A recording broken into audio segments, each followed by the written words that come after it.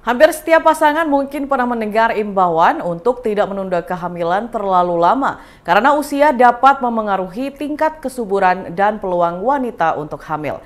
Sebenarnya, anggapan bahwa tingkat kesuburan pada wanita bisa menurun seiring dengan bertambahnya usia adalah benar. Namun bukan berarti kaum hawa yang sudah berumur matang tidak bisa hamil. Peluang kehamilan akan tetap ada, terutama jika Anda menerapkan pola hidup sehat. Meski begitu, resiko terjadinya keguguran dan berbagai gangguan kesehatan saat hamil akan meningkat seiring pertambahan usia. Dilansir dari Alo Dokter, berikut ulasannya. Yang pertama, usia 20-an. Menurut para ahli kesehatan reproduksi, usia 20-an adalah waktu yang tepat untuk menjalani kehamilan karena kualitas sel telur wanita di usia ini umumnya masih baik.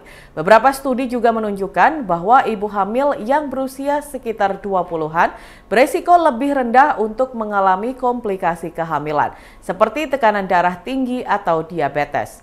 Yang kedua, usia 30-an. Sebuah studi mengungkapkan bahwa usia awal 30-an merupakan usia yang ideal bagi wanita untuk menjadi seorang ibu. Hal ini diprediksi karena wanita di usia tersebut umumnya lebih siap secara mental dan finansial.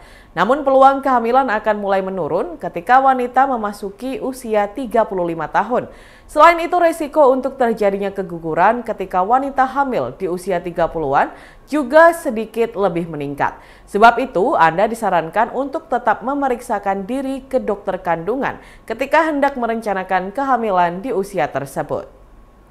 Ketiga, usia 40-an.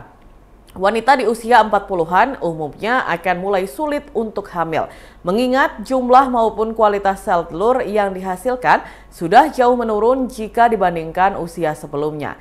Tak hanya lebih sulit untuk hamil, beberapa komplikasi kehamilan seperti tekanan darah tinggi, diabetes, dan gangguan plasenta juga lebih beresiko terjadi pada wanita yang hamil di usia 40-an.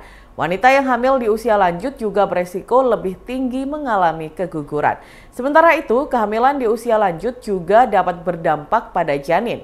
Beberapa studi menunjukkan bahwa bayi yang terlahir dari ibu yang berusia di atas 40 tahun beresiko lebih tinggi untuk mengalami berat badan lahir rendah dan masalah kesehatan tertentu seperti Down syndrome.